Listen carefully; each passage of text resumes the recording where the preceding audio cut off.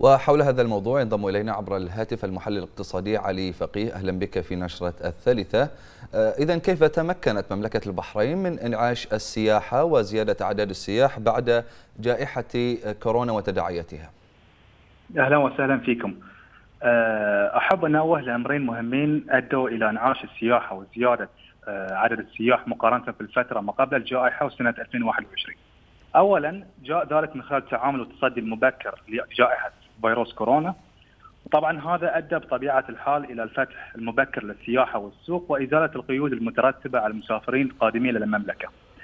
أدى ذلك إلى انتعاش كبير في قطاع السياحة والمطاعم والفنادق وغيرها من القطاعات الحيوية في المملكة. ثانيا قيام وزارة السياحة بوضع الاستراتيجيات المهمة اللي تهدف لتطوير المشاريع السياحية وزيادة السياح.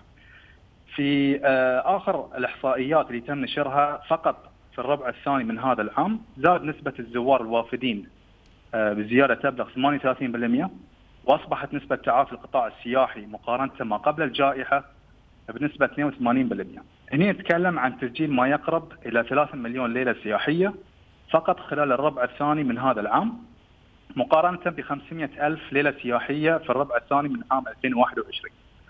فاحنا هنا نتكلم عن زيادة آه زيادة بلغت 400% نعم آه وهذا يرجع للتدابير والاستراتيجيات اللي اتخذت من قبل صناع القرار في المملكة لرفع مساهمة السياحة في الاقتصاد المحلي.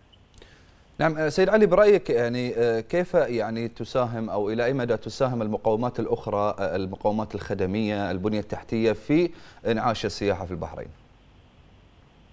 نعم أخي العزيز. آه هناك خطط قائمة الآن مثل الخطة الاستراتيجية السياحية 2022 2026 آه واللي هي جزء من خطة التعافي الاقتصادي راح تساهم بشكل كبير في انعاش قطاع السياحة في المملكة خصوصا أن الاستراتيجية تهدف إلى مساهمة السياحة في الناتج المحلي بنسبة 11.4% آه وطبعا إحنا نتكلم عن مساهمة السياحة في الاقتصاد. ما قبل الجائحة كانت فقط 4%.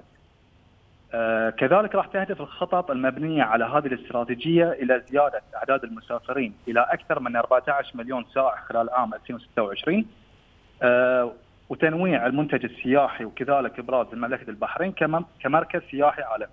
نعم.